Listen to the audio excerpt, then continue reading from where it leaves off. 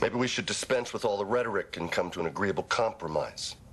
Compromise. Key to any relationship, especially one just starting out. Especially one in its infancy. Yeah. Is compromise. That's right. That's a good first sentence if I ever heard one. Hey, Suge. Don't wake the baby. I thought you were supposed to pick him up an hour ago. She was. She's running late. The next shift called in sick. Oh, man, she better slow down. She's burning the candle at both ends. She got two sets of grandparents. She'll be all right. You're home early. Yeah, well, I can't move forward unless a certain wife makes some decisions. Yes, I, I, I know that. It's just you keep asking me questions when I'm in the middle of something. Well, Mary Elizabeth, house isn't going to build itself. I know that, Collier. And that is exactly why I have penciled you in day after tomorrow at 10 o'clock. Can you make that? I can't wait two days. I need to know whether you want a marble fireplace. Oh, no. Okay, but brick then? No, no, no, no, not that. I've double booked. What's wrong with what we had at the old place? Well, nothing. I'm just trying to give you some options. It's your fantasy island I'm building. Which is it? Mary Elizabeth. Hey, Rene. Tonight?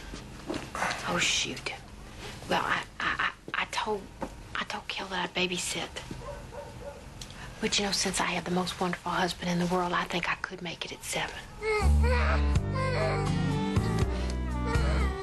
Yeah, that's a nice one, too. Yeah, it's got all the lace embroidery and the pearl beading that I love. And Mildred thinks I would look fabulous in Vera Wang. God, there's so many to choose from. I don't know where to begin. Well, it's good to see you so excited. It's far cry from that panicked spiral you got into with Bill. Remember that? Please don't remind me. You were this far away from running away to Paris to get married. Under the Eiffel Tower. You're not creating Paris all over again, are you? Huh? What are you talking about? I don't know. I just don't understand why you have to hire somebody to tell you what to wear and, and how to be when it's your party. That's right, Emmy. It is my party and it's my wedding. And if I want to have a wedding planner plan it, I'll have a wedding planner plan it. Fine, I think you should have a wedding planner planet. But I do think that you should plan to have the wedding you want. Thank you. And I'm just going to say this one thing. I think you should do what makes you happy, not what what Mildred thinks will make you happy. And you don't think I'm doing that? I offer this as Exhibit A. Miss Rene Jackson and Mr. Clyde Terhune cordially invite you to the wedding of the season.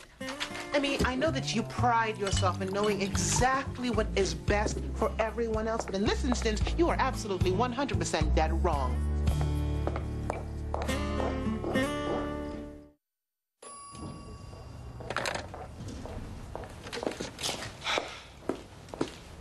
So what'd they say?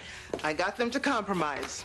They're willing to reinstate you doing deliveries if you're willing to wear a cap. Unacceptable. They're willing to bend, Jamal. This is a good thing. Well, for them, yeah. But did anybody ask how I'd be compromised? I'm a Rastafarian, Miss Jackson. Hiding my dreads would be the equivalent of bleaching the color of my skin. Is that what you're asking me to do? You asked me to get your job back. I did that. If I was a Jewish man sitting across from you, would you inform me I had to remove my yarmulke in order to keep my job? Or would you tell me we're fighting this because they're violating your basic right to freedom of religion? That's a good argument, but My locks are my strength and a representation of my unity with God, Miss Jackson. They shall not make baldness upon their heads, neither shall they shave off the corner of their beard, nor make any cuttings in their flesh. Leviticus chapter 21, verse 5.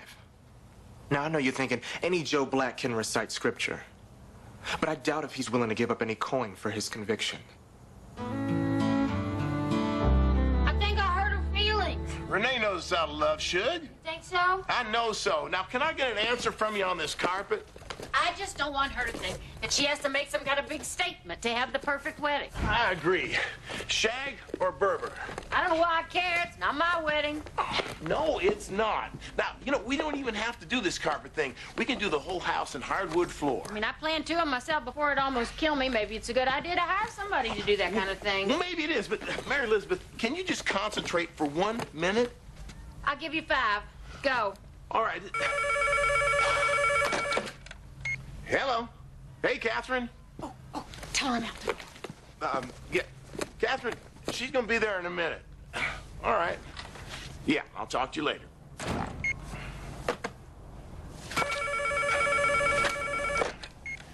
Catherine, she really did.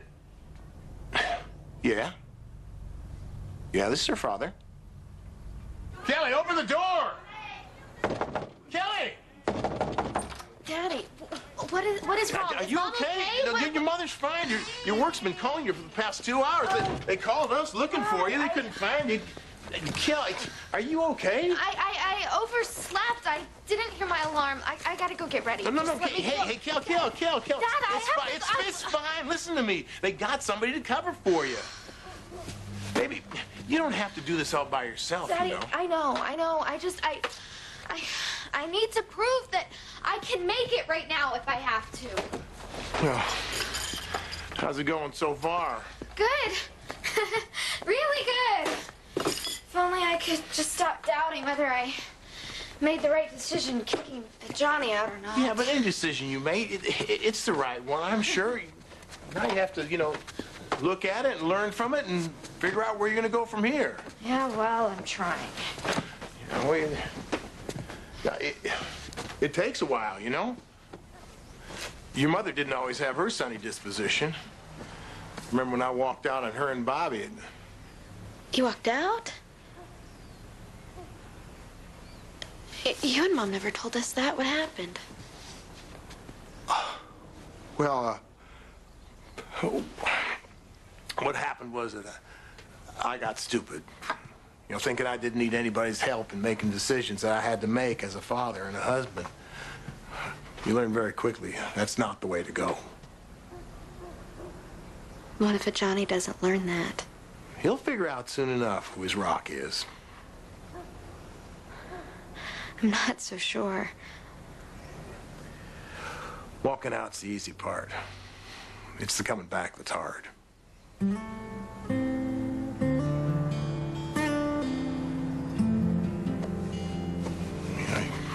You give him time.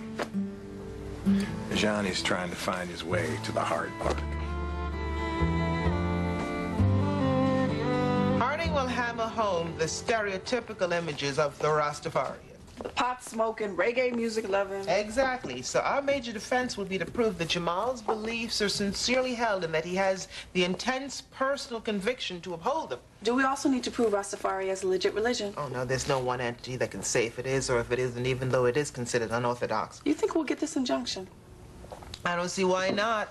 There are not a whole lot of situations that can circumvent religious freedom and expression. I really appreciate you doing this. I mean, especially with the wedding and everything.